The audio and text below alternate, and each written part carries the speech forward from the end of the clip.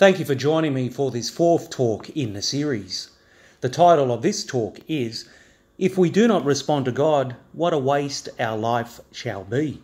Parables help make clear what cannot be seen by an eye that looks but does not see. For the non believer, life is what it is. They are born, they go to school, they go to school for many years. After school, they go to college or university. They enter the workforce and they they belong to a company, they do a particular job, then they leave a particular job. They start a new job for a period of time and then they cease this new job. And then eventually they find a job that they have been looking for their whole lives and they stay with this job and basically they acquire the many things that life has on offer. They purchase a beautiful new car, they purchase somewhere to live, they fall in love, they get married, they have children, they don't have children. Basically, for the non believer, life is what it is. The things that present itself to the non believer, that is the totality of what life is. These things are life, and when these things cease to be, life is no more. For everyone, life is a bit like a car park. When we're looking for a car space in a car park, for both the believer and the non believer, sometimes we go around and around and around looking for that car space. For both the believer and the non believer, when we find that car space, we jump into that car space and we park our car. Now, the difference of this parking lot, as I said, the parking lot can represent both the believer and the non believer, the Christian and the non Christian. Well, the difference between the two is that for us Christians, we don't just believe that life is about parking our car, but we also believe that when we let go of the car, when we let go of this body that has been with us for all these years, we shall move on to something um, greater, something more exciting.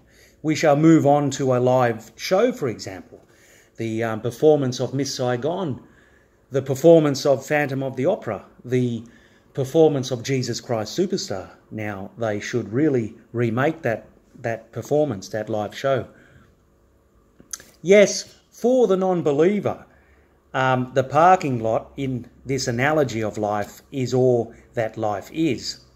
For the Christian, on the other hand, um, we gain purpose in the car park, in the parking lot, because we believe that when we park our cars, there is something um, beyond the car park, and that is the live performance, our, our eternity with Christ.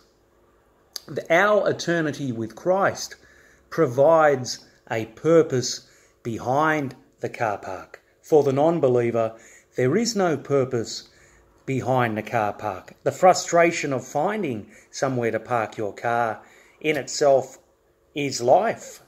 Um, this is the very um, purpose of life. Um, life has no purpose. We go around and we go around, or should I say, they go around and they go around and they go around and they go around. And this going around and around, like a chicken pecking in the dirt, scratching, looking for food, this going around and around and around is life itself. And when they finally are able to park their car, they exit the building.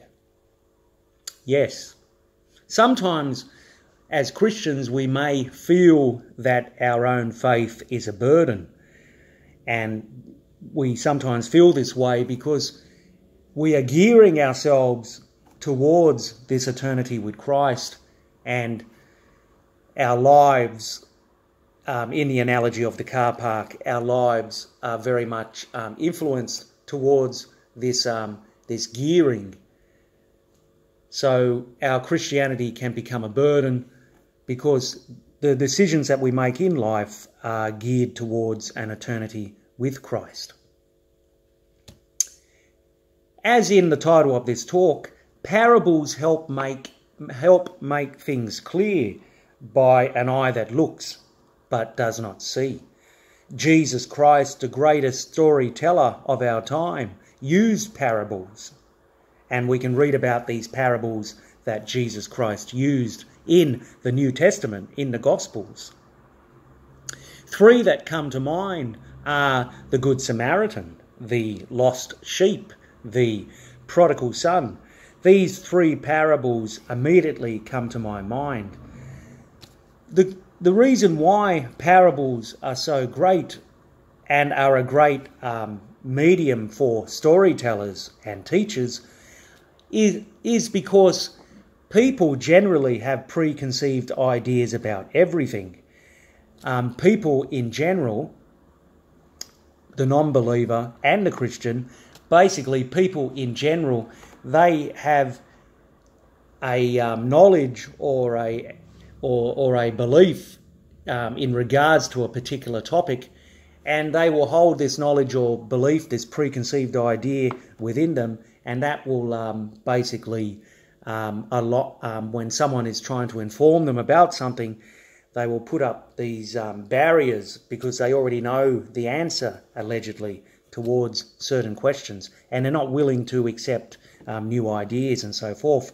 So the idea of using parables when trying to um, teach is a great um, medium because um, people generally love stories. People love listening to stories, and people um, lower lower their um, guards, their defences, so to speak, when they listen to a story because they don't know the ending of the story. The example of the Good Samaritan, the um, Jewish people of the time who Jesus Christ was teaching, um, basically the Levite and the priest, they left the poor chap on the side of the road, and it was the Samaritan who actually helped this poor chap who was robbed. It was actually the Samaritan who helped him. And basically, Samaritans were um, less, I suppose, holy and religious people than the priests and the Levites. In the story of the lost sheep, Jesus Christ in this parable is the Good Shepherd. And to think that Jesus Christ will go after one lost sheep and leave the entire flock um, demonstrates his great infinite love for each and every one of us during the times when we are lost, when we are like lost sheep. In the story of the parable of the prodigal son, we think of this good father who had two sons a good son and a son that was not so good, the prodigal son. And we think about how the good father was so happy just to see his son return after many, many years, and how this good father went out and hugged his son who returned after squandering everything that this good father gave to him. He was so happy to see this good son return. Parables are very, very helpful. Very, very helpful when we try to teach people our own faith, our own faith, our own beliefs about this great teacher, Jesus Christ.